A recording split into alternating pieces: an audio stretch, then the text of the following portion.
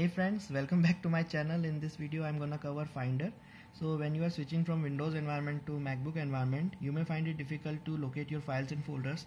Since in windows we have file explorer but in macbook air we have the feature called finder. Let me open this for you.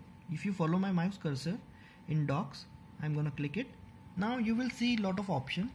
First of all you will see all the apps which are featured in your macbook air you can manage them and you can also change the way it looks. So let me show you. If you follow my cursor you will see you can view your applications as a list. You will see the size the kind and also the date modification. And you can arrange them according to your needs. You will also find all your favorites like desktop documents shortcuts downloads. You can also tag your colors to your folders and files so, so that you can arrange them accordingly. So that's all for now. Thank you for staying in my video. I'll see you in my next video